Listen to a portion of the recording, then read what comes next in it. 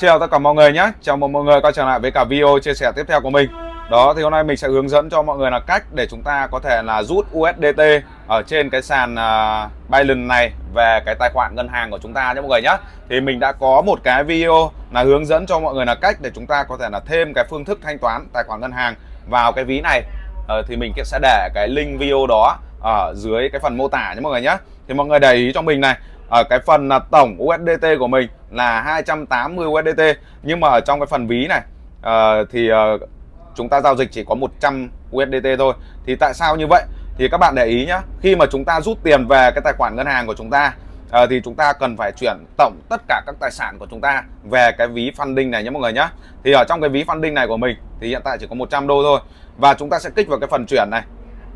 Đó lúc này các bạn sẽ chọn cái nguồn tiền của chúng ta. Ví dụ như ở cái hợp đồng tương lai, mình sẽ chọn hợp đồng tương lai hoặc là cái ví support nhé. Đó, và mình sẽ chuyển tất cả về cái ví funding này. Mình sẽ kích vào phần là tối đa này. Đó, và hợp đồng tương lai của mình còn 45 đô này. Và mình ấn vào phần là xác nhận chuyển này. Đó, mình đã hiểu này. Ok.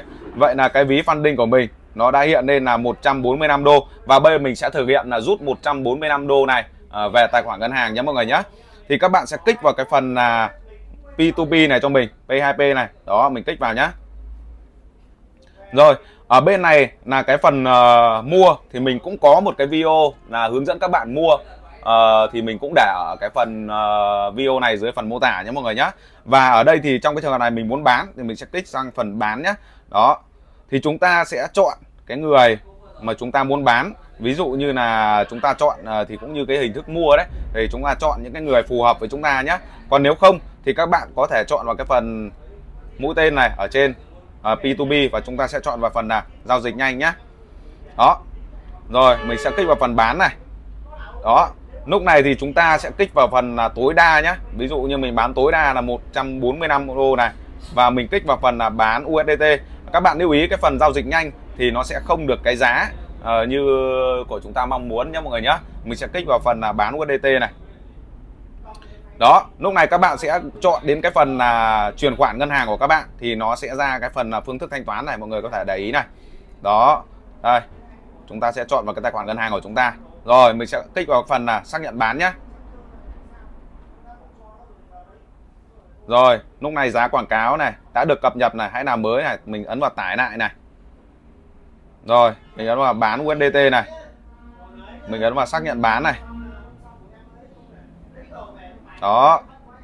Lúc này các bạn ờ, cần phải đợi nhé chúng ta đợi cái người mua. Các bạn lưu ý này chúng ta phải đợi người mua chuyển khoản ngân hàng cho chúng ta nhé mọi người nhé đây số lượng này.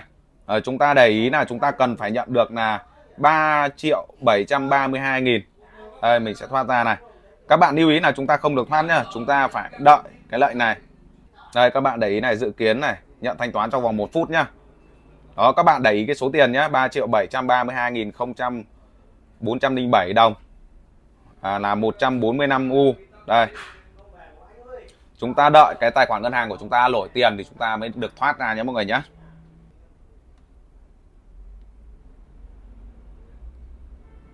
Đây à, đã có cái ờ, kích vào là đã xác nhận là chuyển tiền này. Các bạn vui lòng nhận thanh toán này.